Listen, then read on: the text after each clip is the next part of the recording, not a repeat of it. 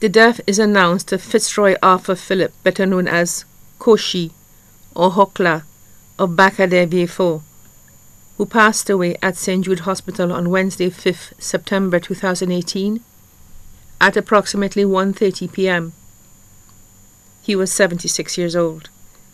The funeral service of the late Fitzroy Arthur Phillip, better known as Koshi or Hokla, will be held at Our Lady of the Assumption Catholic Church Vieux Fort on Friday, 14th September 2018 at 3 p.m.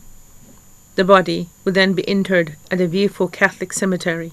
The body now lies at Lazarus Funeral Home, New Dock Road, Vieux Fort. May he rest in peace.